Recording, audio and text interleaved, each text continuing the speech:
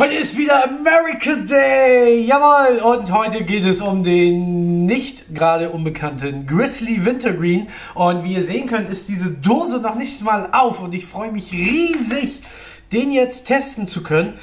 Und äh, ich bin mal gespannt, ob er besser ist als der Copenhagen Wintergreen, das ähm, sehen wir dann jetzt, wenn ihr dran bleibt. Also es geht heute um den Grizzly Premium Wintergreen Long Cut.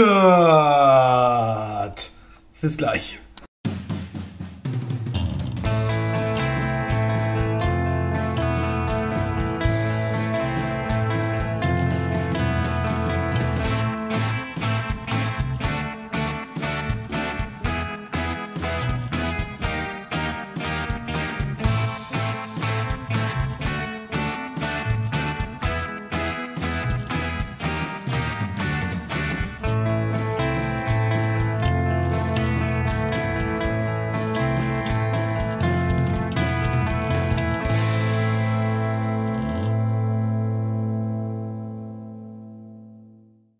YouTube, herzlich willkommen zurück. Der Diverskanal meldet sich wieder heute am American Montag.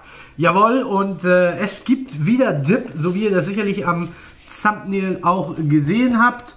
Ähm, ja, und heute kümmern wir uns um den Grizzly Premium Wintergreen. Ja, Wintergreen bin ich ja ein großer Fan, wie ein, der ein oder andere Zuschauer eventuell ja nun doch schon weiß.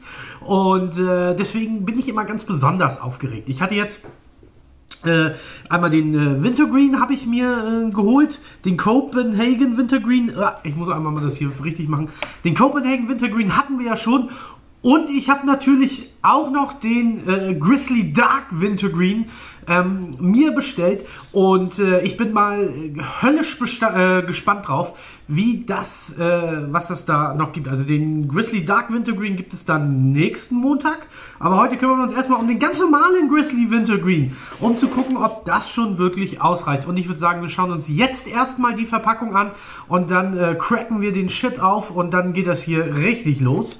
Gut, dann würde ich sagen, gucken wir uns erstmal die Verpackung an. Ja.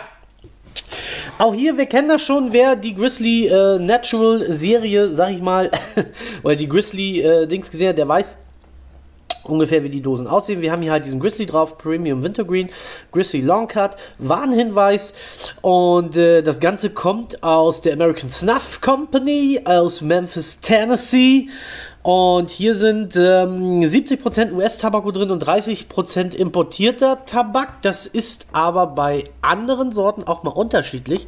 Zum Beispiel, ich habe hier noch eine andere Dose, Grizzly Long Cut Natural. Der hat zum Beispiel dann 90% US-Tabako und nur 10% importiert. Was das jetzt genau zu sagen hat, weiß ich nicht. Ja, dann kann man hier noch so ein bisschen gucken, ne? Grizzly Long Cut Wintergreen, äh, Premium Wintergreen Moist Snuff, ähm, Long Cut Wintergreen und hinten äh, gibt es ja noch diese Coupon-Aktion, die ja nun leider für uns jetzt nicht unbedingt äh, äh, hinhaut. Und ja, wie gesagt, das Interessante ist aber an den Dosen, hier steht immer Moist Snuff drauf. Das heißt, wenn ihr sowas mal bestellt und der Zoll rummerkt, dann sagt ihr, wieso ist doch Schnupftabak? Steht doch Snuff drauf. ne? Also vielleicht funktioniert das ja. Gut, okay, drehen wir mal die Kamera um und ich bin schon, wie ihr vielleicht merkt, schon höllisch aufgeregt. Denn auch dies ist heute mein erstes Mal. Deswegen seid mir nicht böse, wenn ich den Geschmack vielleicht nicht, ich muss erstmal meinen Spit einmal hier holen. Ähm, wenn ich vielleicht nicht gleich beim ersten Mal das, äh, den Geschmack richtig hinbekomme. Aber wir wollen mal gucken. Und jetzt kommt das, was alle lieben, äh, diese Dose aufzukracken. Cracken. Ne? Also das macht man richtig so. Hört mal.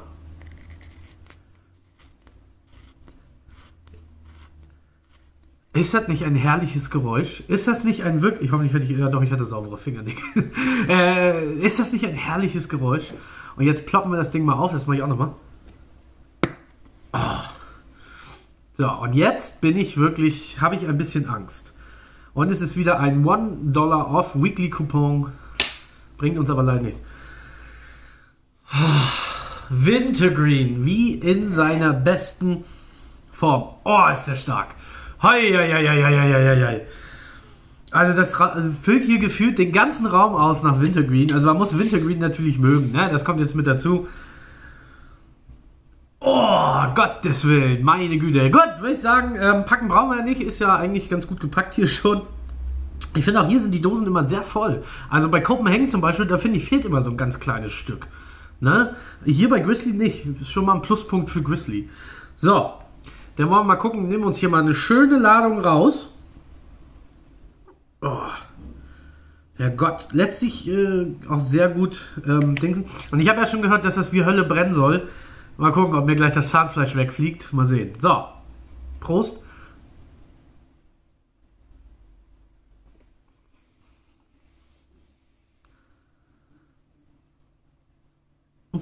Es geht. Es geht.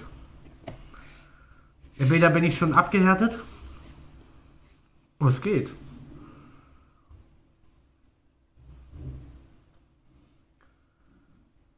Es geht. Es brennt nicht.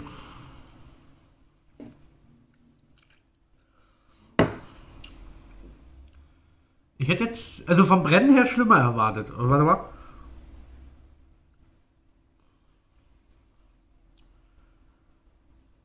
Entweder bin ich schon tot oder es funktioniert.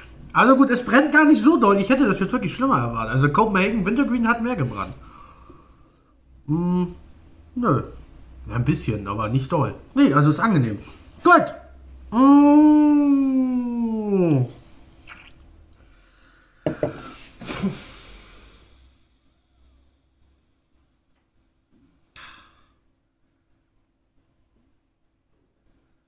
Wintergreen. Es schmeckt richtig geil nach Wintergreen. Wir haben es hier nicht so wie beim Copenhagen, ähm, der ja, ähm, ja, wie soll ich sagen, der war ein bisschen süßlicher. Der Grizzly ist tatsächlich ähm, ein bisschen herber.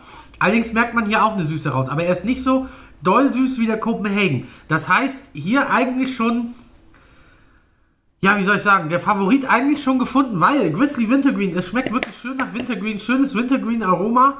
Ähm, kommt angenehm zum Laufen. Hm, jetzt brennt er doch ein bisschen. Ähm, und ja, wie soll ich sagen? Also, es ist äh, leicht, ähm, also es ist sehr doll Wintergreen, das ist ja klar. Ähm, und wir haben hier eine sehr, sehr leichte Süße, haben aber tatsächlich auch ein bisschen ähm, was Herbes mit drin, aber die Süße übertüncht das hier Ganze hier irgendwie nicht unbedingt. Und das finde ich schon mal gar nicht mal so schlecht. Ähm, wie gesagt, wir haben hier eine, eine, wunderbare Komposition. Das heißt, wir haben hier einen schönen Wintergreen, der nicht zu süß ist, ähm, also ideal für mich für zwischendurch.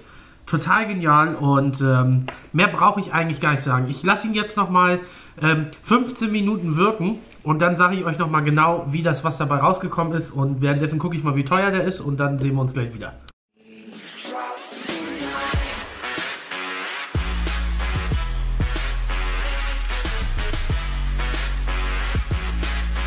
Melden wir uns wieder zurück hier beim Diverses Kanal, jawohl. Und ich habe ihn jetzt mal 15 Minuten wirken lassen, habe derweil geguckt, äh, geguckt, wie viel er kostet. Kommen wir jetzt aber erstmal zum Geschmack. Also, wir haben es hier nicht ganz so penetrant süß. Das finde ich gut. Das ist aber wiederum Geschmackssache. Wer es etwas äh, süßer mag, Entschuldigung. Das hat hier aber beim Dippen leider an sich, dass man hier ab und zu mal ein bisschen ausspucken muss. Ähm, so, was, wo war ich jetzt stehen geblieben? So, ähm, also er ist, nicht, er ist nicht ganz so süß wie der Copenhagen. Äh, es kommt zwar ab und zu mal so ein süßer Intervall raus, aber das hält sich echt in Grenzen. Der Copenhagen, den finde ich süßer. Ähm, deswegen, ähm, ich bin ja nun nicht so ganz der süße Fan, das ist ja allgemein auch schon bekannt. Ich habe ja lieber die herberen Sachen und deswegen gefällt mir der einfach auch besser. Einfach weil der ähm, richtig schön abgestimmt ist aufeinander. Also wir haben hier ein tolles Wintergreen-Aroma, das macht richtig Spaß. Ähm, es ist schön ähm, süßlich, ein bisschen, aber auch herb. Und das macht das Ding wirklich total aus. Ja, kostet 3,25 Euro pro Dose. Ähm, ungefähr. Ist ein bisschen günstiger sogar als Copenhagen. Copenhagen kostet 3,40 Euro die Dose. Und ich kann euch auf jeden Fall raten, den auf jeden Fall mal zu probieren, weil ich denke mal, er ist es auf jeden Fall wert. Gerade für die Wintergreen-Fans sollten den Grizzly Wintergreen mh, auf jeden Fall ähm, auch mal probieren. Ich muss noch mal. Also man merkt auch, er läuft richtig gut und äh, so soll es sein. Also der ist richtig schön fancy, sag ich mal. Hat den Test auf jeden Fall bestanden. Ja, kommen wir zum Fazit. Grizzly macht allgemein eine bekannt gute Sache. Grizzly, wir hatten ja schon den Premium Natural hier und jetzt haben wir mal den Wintergreen genommen. Beide hervorragende Qualität, auch wenn es nicht immer ganz hundertprozentig amerikanischer Tabak ist. Ah, Herrgott, es gibt Schlimmeres. Ähm, der Geschmack ist auf jeden Fall sehr, sehr gut und kann ich auf jeden Fall jedem empfehlen. Ja, ähm, was gebe ich dem Grizzly? Long Cut Wintergreen. Ich gebe ihm eine 8,5 von 10 Punkten, weil ich ein großer Wintergreen-Fan bin. Ein Punkt mehr als in Kopenhagen. Kopenhagen kriegt aber nur den Punktabzug, weil er mir zu süß ist. Wie gesagt, nicht so ernst nehmen immer die Bewertungen. Es ist nur eine Empfehlung und äh, ich persönlich und meine eigene Meinung und ich persönlich würde den Grizzly vor den Copenhagen Wintergreen ähm, äh, vorsetzen, aber die sind beide von der Qualität her enorm gut und äh, deswegen könnt ihr eigentlich mit beiden auch keinen Fehler machen. Das soll jetzt auch keine Abwertung sein für Copenhagen. Die sind ja sonst auch richtig gut. Äh, wie gesagt, gegen den Longhand kommt auch der Grizzly Natural nicht an. Das sei auch mal gesagt. Und, ähm, Entschuldigung. Und wie gesagt, ähm, ja, äh, deswegen ist er für mich eigentlich auch einer der äh, absoluten Top-Favoriten der Dips. Also, Grizzly Wintergreen 8,5. Ja, wir sehen uns am. Äh, jetzt, ich, ich schon, jetzt ist heute erst Dienstag, wo ich das aufnehme, weil die heute gerade hier angekommen sind. Und ähm, Deswegen habe ich es jetzt schon gedreht, weil ich ihn unbedingt probieren wollte. Und wir sehen uns nächsten Montag dann äh, mit Dip wieder, mit dem Grizzly Dark Wintergreen. Und äh, jetzt sehen wir uns dann Mittwoch mit Schnupftabak wieder. Aber welcher das ist, das weiß ich nicht, weil ich noch nicht mal vom letzten Mittwoch das Video erst gedreht habe. Also seid mir nicht ganz so böse. Gut, das war's. Bedanke ich mich fürs Zuschauen und ja, wir sehen uns. Bis dahin. Tschüss, macht's gut. Alles Liebe.